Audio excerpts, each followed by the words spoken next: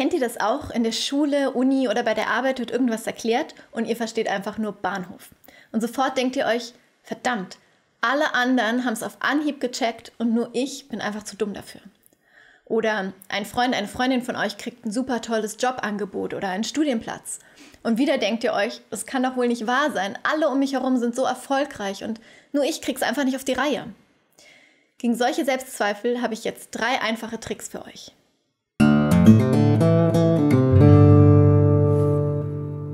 Selbstzweifel zu haben ist eigentlich völlig normal. Wir alle haben sie. Aber wenn sie überhand nehmen, dann können sie ganz schön lästig werden. Zum Beispiel, weil sie uns entmutigen. Wenn wir zum Beispiel ein Referat halten sollen oder eine Präsentation, dann trauen wir uns unter Umständen nicht mal mehr, diese Herausforderung anzunehmen, weil wir von vornherein denken, das schaffen wir eh nicht.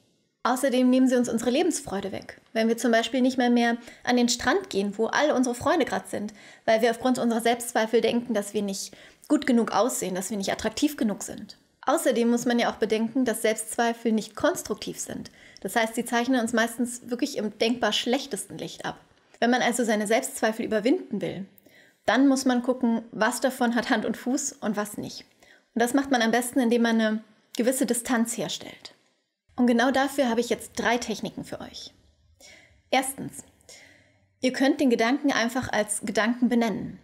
Das heißt, wenn ihr mal wieder denkt, ich bin so faul, dann müsst ihr anstelle von ich bin so faul denken, ich habe den Gedanken, dass ich faul bin. Und dann habt ihr eine gewisse Distanz hergestellt und könnt überlegen, ist es denn wirklich so? Trifft es auf alle Situationen zu? Zum Beispiel, war ich wirklich noch nie fleißig? Habe ich mich nie hingesetzt und mal wirklich gelernt? Habe ich nie, und zwar in allen Bereichen meines Lebens, Einsatz gezeigt oder für etwas gerne Zeit und Kraft aufgewendet?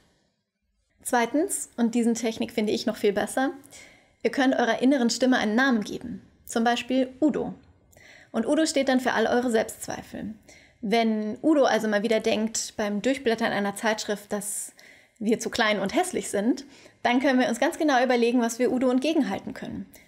Bin ich wirklich zu klein oder bin ich vielleicht durchschnittlich groß und bilden vielleicht die Zeitschriften auch unrealistische Schönheitsideale ab? Und wenn ich meine Selbstzweifel mit Udo benenne, dann kann ich ihn mir halt auch richtig immer als Gesprächspartner vorstellen. Und dann kann ich mir auch vorstellen, was ich ihm zu entgegnen habe und finde dann heraus, dass Udo oftmals falsch liegt. Drittens, wenn ihr demnächst vor einer großen Aufgabe steht, dann macht euch klar, dass es allen so geht, dass ihr nicht alleine seid, sondern alle werden von Selbstzweifeln geplagt.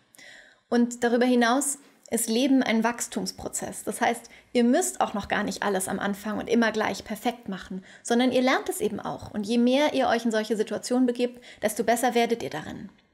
Also verzweifelt nicht. Lasst eure Selbstzweifel nicht zu nah an euch rankommen.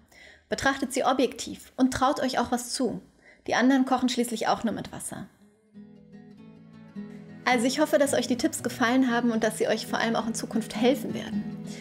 Ansonsten würde ich mich sehr darüber freuen, wenn ihr in die Kommentare schreibt, was ihr so macht, um eure Selbstzweifel loszuwerden.